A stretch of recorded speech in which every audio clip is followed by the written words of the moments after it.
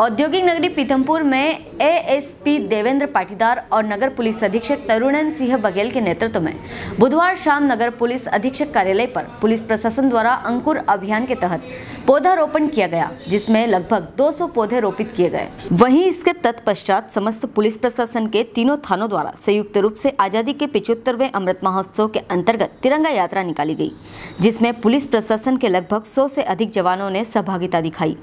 तिरंगा वाहन रैली का जगह जगह भव्य स्वागत हुआ। सागर में मानव अधिकार एवं अपराध नियंत्रण संगठन एवं अंतर्राष्ट्रीय मानव अधिकार और मीडिया संगठन द्वारा भव्य स्वागत किया गया।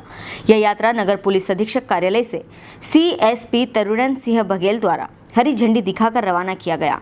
पीथमपुर से संजय सोनगरा की रिपोर्ट। सर बताया आज ये तिरंगा यात्रा है क्या है पूरा देश स्वतंत्रता के पचहत्तर वर्ष के उपलक्ष्य में अमृत महोत्सव मना मना रहे हैं। उसी तारतम्य में आज पुलिस विभाग पीथमपुर द्वारा एक वाहन रैली निकाली जाएगी। साथ ही अंकुर योजना के अंतर्गत वृक्षारोपण भी किया जाएगा।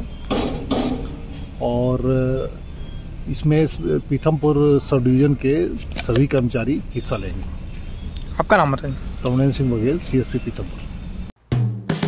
Hello friends आप देख रहे हैं हमारा channel S W twenty four news हमारे सारे वीडियो सबसे पहले देखने के लिए आप हमारे चैनल को सब्सक्राइब करें और पास में लगे बेल आइकन को दबाना बिल्कुल भी ना भूलें।